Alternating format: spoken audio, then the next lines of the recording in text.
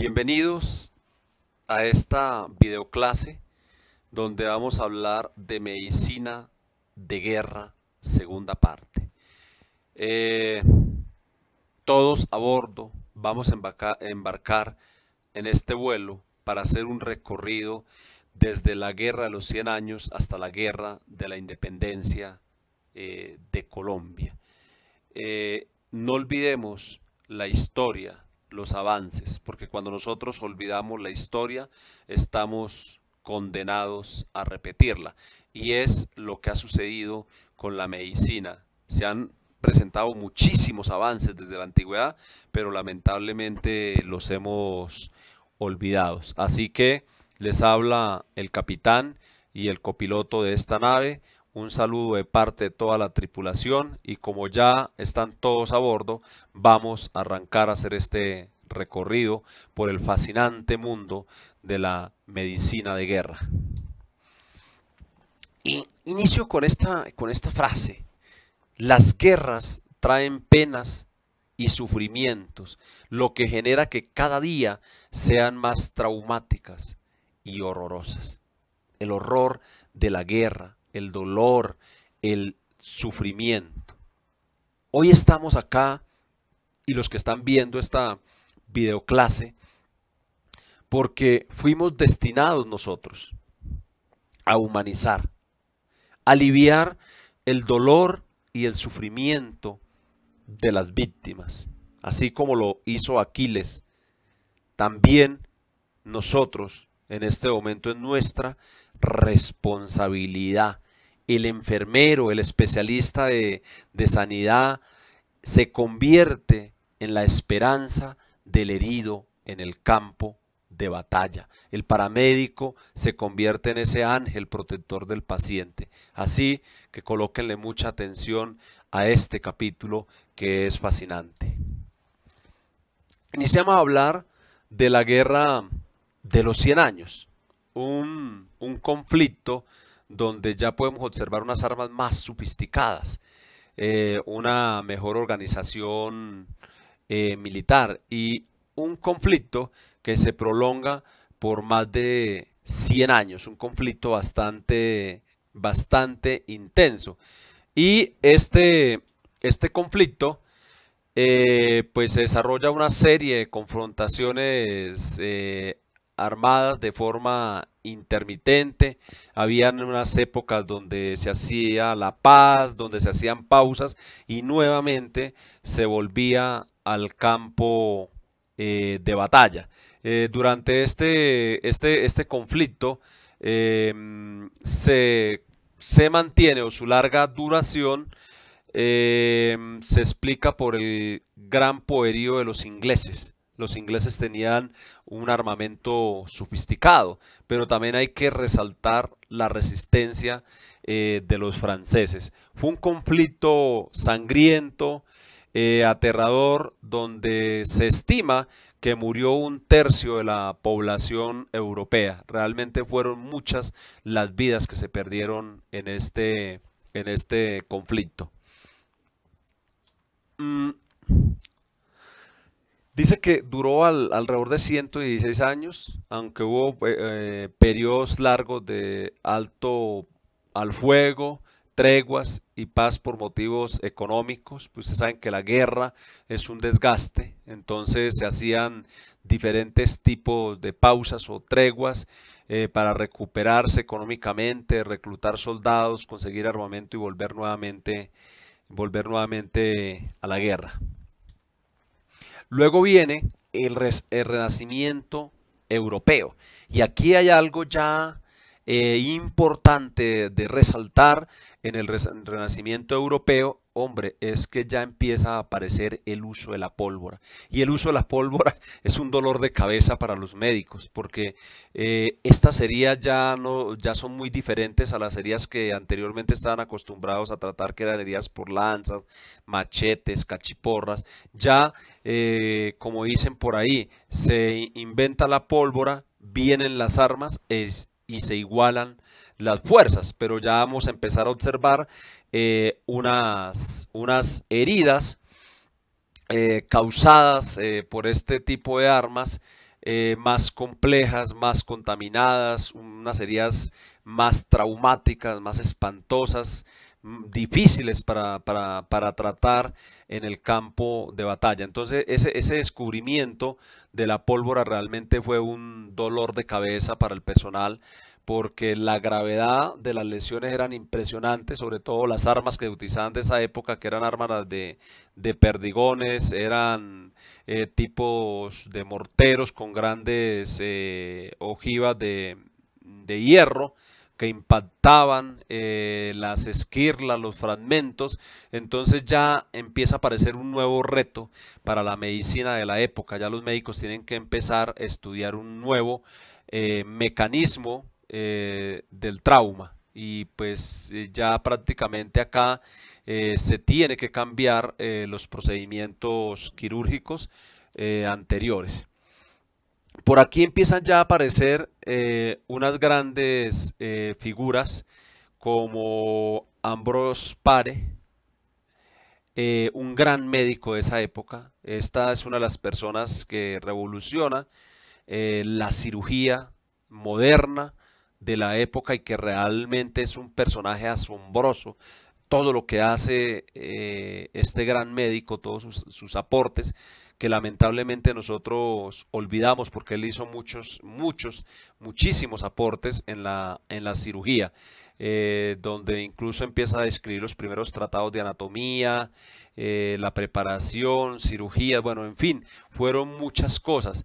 Fue uno de los médicos más famosos del Renacimiento europeo se caracteriza por muchos aportes, los aportes a la cirugía plástica, eh, las amputaciones traumáticas e incluso este, este señor fue el creador del torniquete, fue una de las primeras personas que empezó a emplear el torniquete de forma masiva en las guerras, se iba a operar eh, al campo de batalla, eh, una persona que adquirió una serie de habilidades y destrezas. Durante sus años de cirujano militar logró significativos progresos en el tratamiento de las heridas. Él se dedicaba a ese tratamiento de las heridas, a que los soldados tuvieran una oportunidad en el campo de batalla. Y realmente es ingenioso. Eh, por ahí una parte que él adquirió tanta habilidad que realizaba una amputación en tan solo 5 minutos, que logró amputar alrededor de 200 soldados en 24 horas en el campo de batalla, porque en esa época casi todas las heridas a nivel de extremidad tocaba realizar una amputación porque no había cómo tratarlas.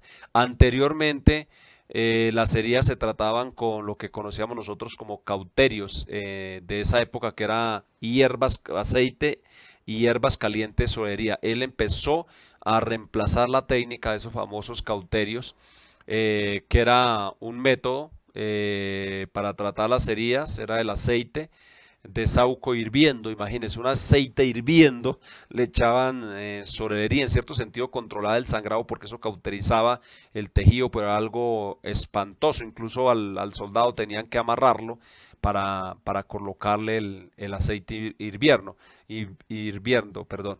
Eh, él cambió ya esta técnica y Pare dejó de emplear y este método que lo denominó como un método bárbaro en el tratamiento de las heridas por arma de fuego y él ya empezó a, utilizar, una serie de, instrumental para mejorar la, cirugía. Ahí podemos observar una imagen de los equipos de esa época eh, donde prácticamente este individuo se convertía en un buen cirujano eh, vascular, haciendo disección de arterias, una cantidad de procedimientos que él realizaba con el empleo del torniquete, amputaciones. Se lanzó también este, este hombre eh, a, operar en el campo de batalla. Eh, directamente en el desarrollo de, de, de, las situaciones, él se lanzó allá y, y en el campo de batalla hacía sus cirugías eh, transportaba todo su instrumental, eh, experimentó eh, la reconstrucción del tejido, fue algo muy importante. y pensaríamos que es uno de los primeros aportes a la cirugía plástica.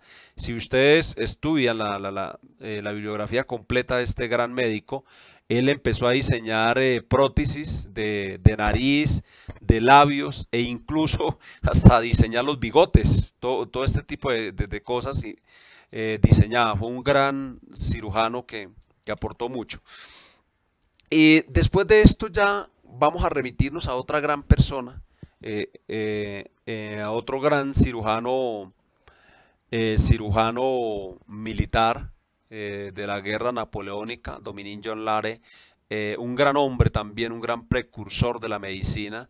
Y gracias a él tenemos hoy en día los sistemas de clasificación, los sistemas de ambulancia, entre otros aportes. Él lo, inicialmente eh, se empezó a conocer como el padre de las ambulancias porque él ideó en la época un sistema de carros tirados por caballos que llevaban con prontitud al paciente al hospital. Era un sistema eh, de evacuación de heridos, como hoy podemos hablar de los sistemas de Medeva y Caseba, en esa época era lo más sofisticado este tipo de ambulancias. Él diseñó varios tipos de, de ambulancias y esto realmente fue muy, muy, muy importante para la, para la época. Eh, como cirujano militar adquirió notables habilidades en amputaciones rápidas y precisas. Él ya sofisticó lo que había diseñado, lo que había diseñado Pare y empezó a modernizar eh, la cirugía. Era una persona con grandes experiencias y habilidades en el área, en el área quirúrgica y pues este, este personaje realmente dejó unos aportes impresionantes. Eh, después venimos a hablar un poco también ya de, eh, la guerra de la independencia de Colombia, un conflicto sangriento, un conflicto bárbaro, un conflicto que se, se, prolongó también, un conflicto en la topografía de terreno como la de Colombia, con páramos, grandes montañas, donde los, las tropas, tanto españolas como patriotas, tenían muchísimas dificultades en los suministros eh, logísticos, y pues ya acá llegan los españoles con unas armas más sofisticadas, eh, acá teníamos un ejército patriota que prácticamente se enfrentaba a ellos en desigualdad, eh, con machetes, eh, lanzas, piedras, cualquiera que quería servir al ejército, se iba ya a soldados descalzos, sin vestimenta, nada de esto, a enfrentar a unas tropas españolas que venían pues prácticamente bien armadas, tenían cañones, escopetas, buenas espadas y todo esto. Y pues realmente fue un conflicto que se desarrolló en diversos campos. ¿Qué podemos decir de la guerra de independencia de Colombia? Eh, eh, lo que se podemos evidenciar es una influencia de algo que llamaban la Legión Británica, que contaba con médicos militares liderados por, el, por un cirujano inglés.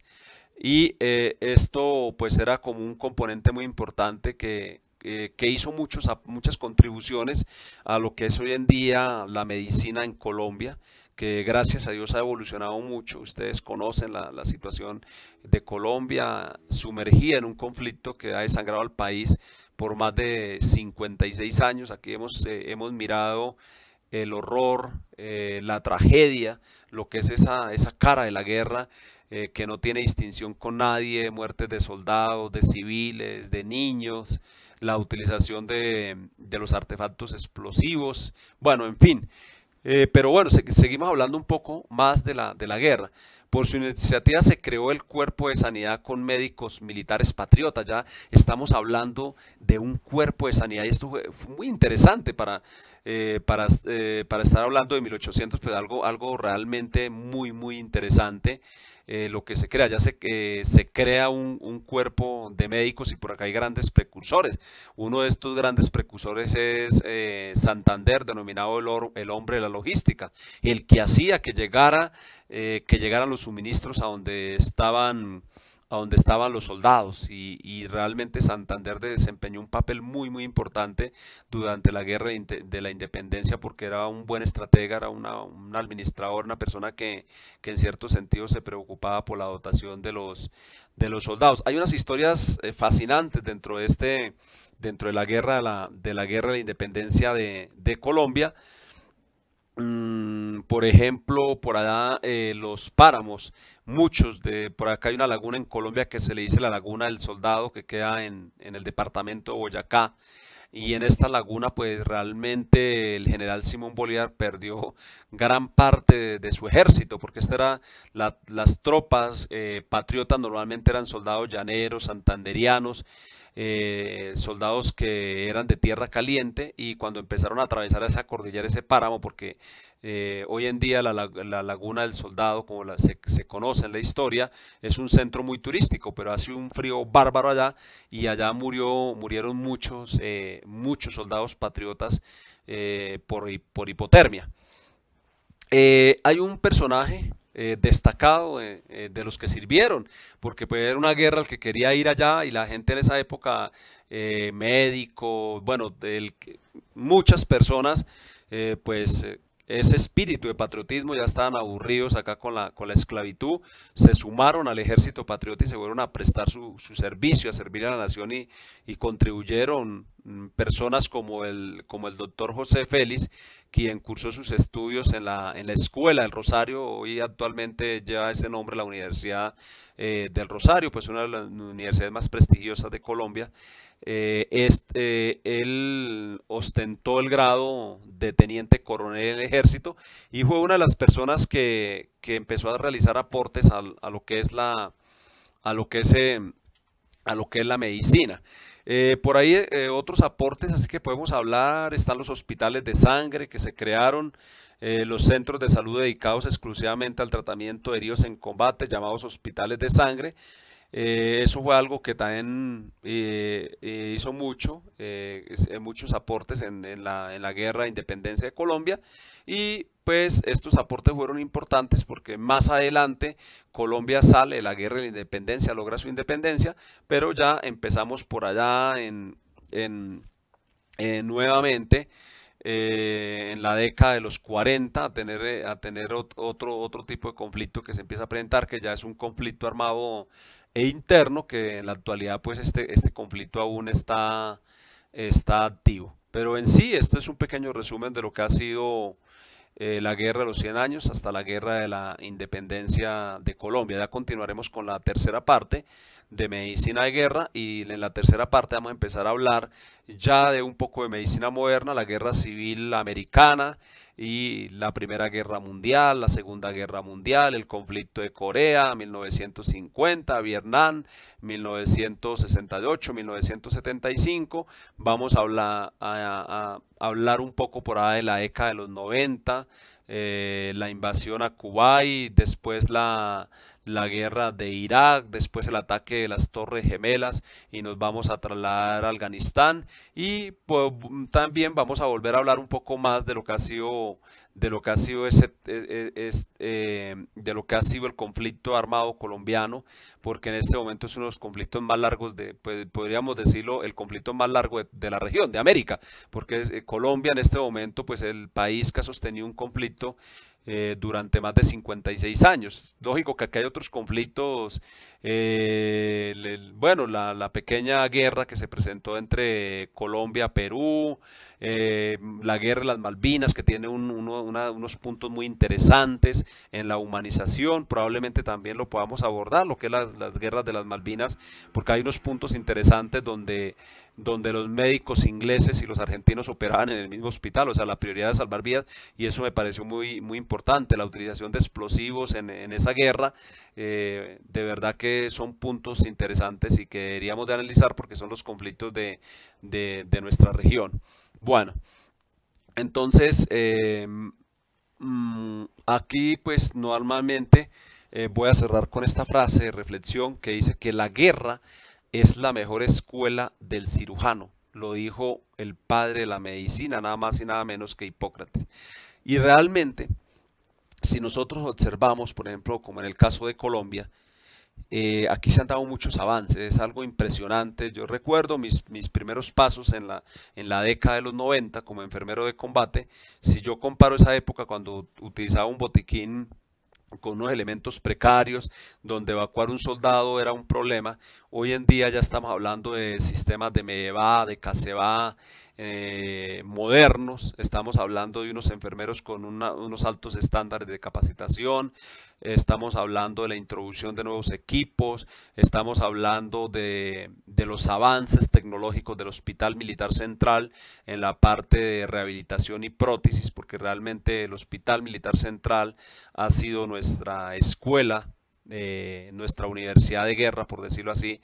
Eh, ahí todo el que llega va a tener una experiencia agradable. Tuve la oportunidad de estar alrededor de cuatro años en el Hospital Militar Central y aprendí muchísimas cosas al lado de los cirujanos, de grandes, de grandes personas consagradas a la, a la cirugía eh, militar. Entonces, así que los dejo con esta frase y nos vemos en la tercera parte de medicina de guerra. Entonces vamos a pedir un servicio a, bordo, eh, se estira, se relajan un poquito y nos vemos en la tercera parte para continuar con este vuelo, eh, este vuelo eh, conociendo un poco más la historia de la medicina de guerra.